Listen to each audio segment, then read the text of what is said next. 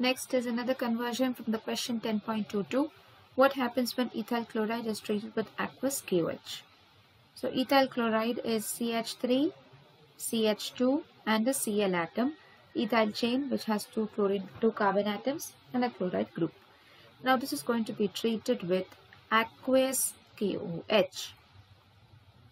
In one of the videos I had explained clearly a difference between aqueous KOH and alcoholic KOH uh, the functions that they uh, go through because um, they will form totally different products.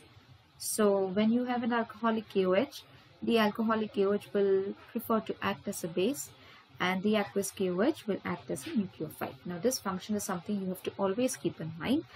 Always look out for the nature of the reagent given to you.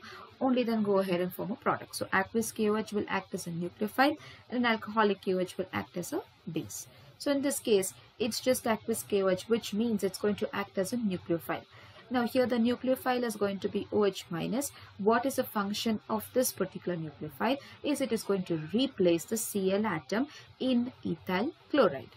So I'm going to write the product here where I have CH3, CH2OH plus the Cl that went out is going to form bond with K to form KCl. So here it has formed ethyl alcohol from ethyl chloride. Alright, so it is just a simple substitution reaction.